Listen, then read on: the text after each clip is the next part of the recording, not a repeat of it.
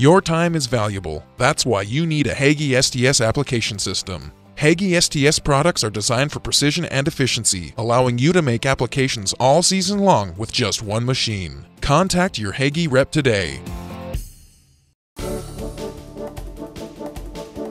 Our weed of the week is kochia, and not just kochia, this is Roundup resistant, ALS resistant kochia. Well, it's funny because when you think about identification of kochia, uh, I've had a lot of people over the years say, wow, it looks so similar to mare's tail when they're both really small. Yeah. My gauge used to be, well, if I sprayed Roundup and one was alive and one was dead, well, the dead one was kochia, the alive one was mare's tail because that was Roundup resistant, one of the first weeds that really spread across the country with Roundup resistance. Now the Roundup doesn't kill either of them. And when you think of the differences between those two plants, mare's tail typically has one tall erect stem where kochia bushes out right from the beginning and kochia is very hairy throughout the growth stages. All right, so where we have the biggest problem controlling kochia is in broadleaf crops like soybeans. In soybeans, what we suggest is that you use a three pre-emerge strategy using three products that will kill kochia before the kochia ever even comes out of the ground. What we're talking about is using one of the yellows, that's Treflan, Sonalan, or Prowl, plus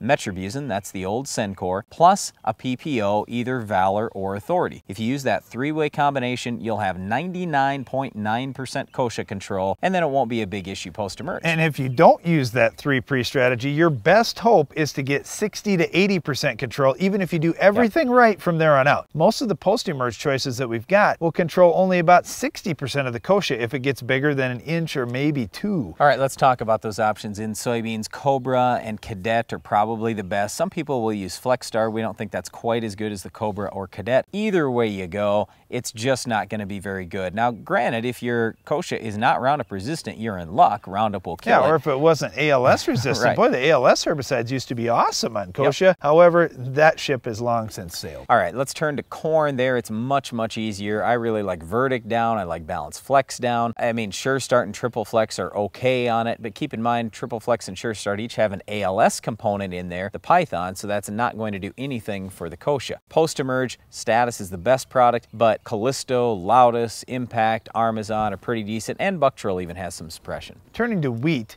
we really like Sharpen Down as a pre-emerge herbicide. As we talked about in the post-harvest burn down segment, Sharpen has got a lot of activity on kochia. It's not going to be perfect when it's all by itself, but it's the best thing we got going pre. Then post-emerge, we've always liked Wide Match because it has Starane in it. That's been our lead product. However, there are some cases now being brought up in North Dakota that there may be some Starane resistance out there. So we look at other options. Buctril is probably our best other option. Well, I would say Husky is a much better option than just straight Buctril. Husky does contain Buctril, but it also has a product in there similar to Callisto, Laudis Impact, Armezon. So Husky's the way to go if you're worried about wide match working. Well, that's all the time we have for this week's Weed, but Iron Talk is coming up next.